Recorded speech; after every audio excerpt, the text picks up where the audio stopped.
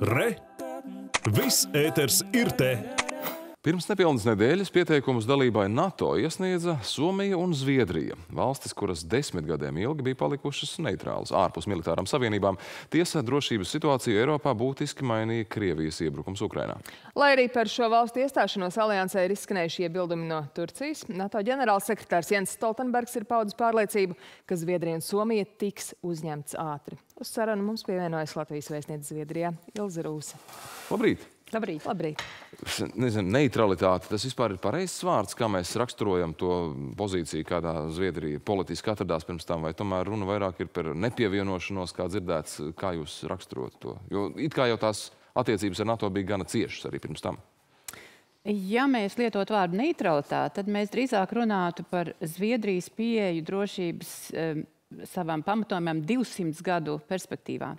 Bet um, tiešām kopš Napoleona kariem Zviedrija ir bijusi neitrāla. Bet 2009. gadā arī um, saistībā ar Lisabonas līgumu, kas paredzēja arī solidaritātes klauzulu, varētu drīzāk runāt par Zviedrijas nepievienošanos aliansei. Uh, un arī paralēli jāpiemina, ka Zviedrijā bija uh, Zviedrijas līdz šim uh, drošība ir balstījusies uz virkni sadarbības līgumu. Tie ir cieši sadarbības līgumi gan ar kaimiņu valsts Somiju, gan ar partnervalstīm un ļoti lielā mērā arī ar partnerību ar NATO. Tātad drīzāk pareizi būtu lietot vārdu alianses brīvība. Mm. Jā, nu jāteic, ka mm, Krievijas uzsāktais karš Ukrainā pamatīgi šokēja lielāko daļu pasaules.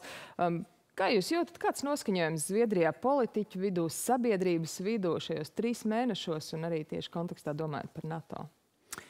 Es gribētu sākt ar to, ka NATO atvērto durvju politika ir faktiski alianses pamats. E, un katrai valstī ir tiesības izvēlēties savu drošības pieeju, un trešām valstīm nav iespējas vai tiesības to ietekmēt. Un tieši šis faktors jau sākot ar EDSO ministru sanāksme decembrī, kad ieskanējās pirmās ziņas par to, ka varētu uh, Krievija sākt ietekmēt arī citu valstu izvēles, uh, bija tāds pirmais signāls politiķu līmenī, uh, ka Zviedrijā nekas nav tā kā vakar.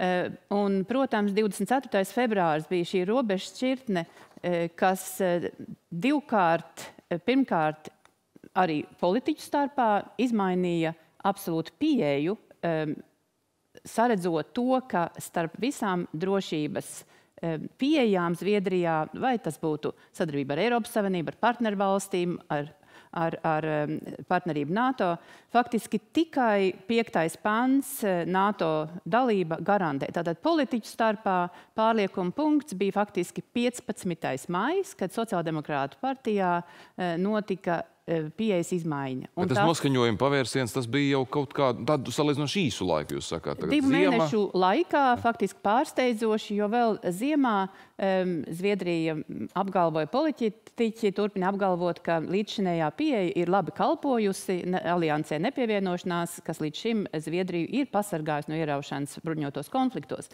Es teiktu arī, ka šo te pārliekuma uh, mirkli uh, um, izraisīja sabiedriskās domas maiņa. Ja sākotnēji pagājušā gadā apmēram 30% un arī moderātu partiju, centra partija lielā mērā atbalstīja Zviedrijas ceļu uz NATO, eh, tad um, šobrīd jau apmēram 65-68% Zviedrijas iedzīvotāju atbalsta eh, Zviedrijas dalību NATO. Tātad, tātad tam ir sabiedrības atbalsts, politiķu atbalsts un, protams, tas ir arī Somijas faktors. Lai Zviedrija arī Somija uzņemtu NATO, piekrišana jādod visām dalību valstīm. Ar Turciju varētu būt diezgan sarežģīti šobrīd, vismaz tā izskatās. Turcija ir paudusi uh, savas pretenzijas, tā skaitā pārmetusi Zviedrijai, ka nu, tādus teroristiskus cilvē noskaņotus cilvēkus sargājot un, un sargājot tos, kuri grib gāzt Turcijas valdību. Kā tad īsti ir ar Turcijas nostāju? Vai tam varēs tikt pāri?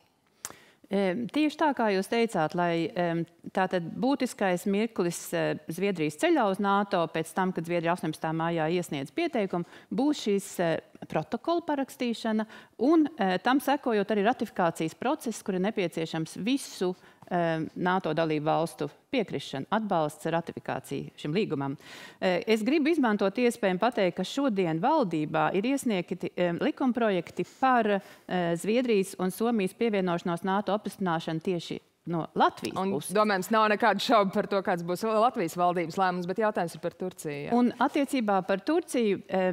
Es gribētu teikt, ka visās pievienošanās vai visā, visās veida sarunās, kompleksās sarunās vienmēr ir diplomātiskā fāze. Mēs šobrīd atrodamies diplomātiskajā fāzē. Eh, Zviedrija no savas puses dara visu iespējamo. Ir bijuši premjeras tikšanās eh, eh, Vašingtonā, notiek arī pašas NATO iesaisti, notiek partnervalstu iesaisti. Vakardien bija mūsu ārlietu ministra saruna ar Turcijas ārlietu ministru. Un ministrs faktiski eh, pauda izpratni par Turcijas leģitīmām drošības interesēm, bet arī apliecināja, ka Zviedrijas un Somijas iestāšanās NATO būtu liels un būtisks papildinājums Baltijas reģionu, visas Ziemeļa Eiropas reģiona drošībai un visai aliansē, jo faktiski Zviedrija un Somija ir ļoti integrēti NATO partneri jau šobrīd.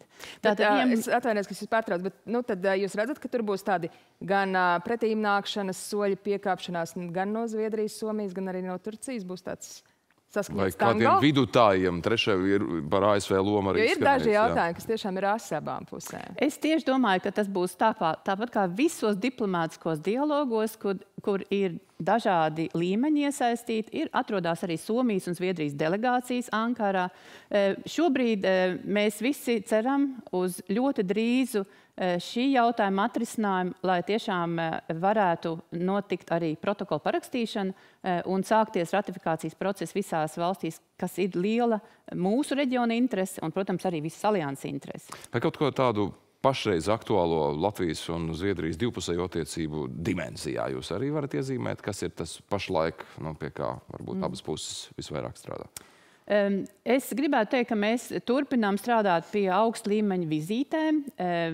Ir gaidāms arī vizīte šajā gadā, bet arī pieminēt, ka Zviedrija 2003. gadā būs Eiropas Savienības prezidē, prezidējošā valsts. Arī šai kontekstā būs virkne ar Eiropas Savienības līmeņa konsultācijām, dialogiem. Principā Zviedrija pārņems Eiropas Savienības eh, stafeti no Čehijas un uh, nākošajā gadā. Tad mēs uh, kā vēstniecība strādājam eh, arī uz eh, Zviedrijas prezidentūras sagatavošanu, bet gribu noteikti pieminēt arī uh, reģionu, kurš šobrīd īpaši arī pēc uh, 24. februāra ir kļuvis Baltijas jūras reģions, ir ne tikai drošības reģions, bet arī ekonomiskās izaugsmes reģions. Un šajā ziņā Zviedrija ar vislielāko investīciju apjomu Latvijā ir mūsu ļoti augsts, augsts prioritātes eh, virziens ekonomiskai sadarbībai. Un es šobrīd arī atrodos Rīgā, piedaloties Zviedrijas Latvijas fonda eh, darba turpinājumā. Tātad divpusējs fonds, kas tieši nostiprina eh, tātad, eh, projektu sadarbību starp divpusēji starp abām valstīm. Arī kultūras, arī Nu, Beig, beigās ļoti tuvi jomā. kaimiņi esam, pavisam maz ūdens te pa vidu starp mums ir. jā, starp Tieši tā kā pāri visai Latvijai, tikpat tālu arī līdz Zviedrijai. Jā, Jā, nu, Zviedrija tieši- vienmēr ir bijusi uzticams partneris Latvijai. Absolūti. Lūkojamies uz priekšu, lai tas tā arī paliktu un raugamies, kā attīstās notikumi ar NATO. Paldies Jā. par sarunu.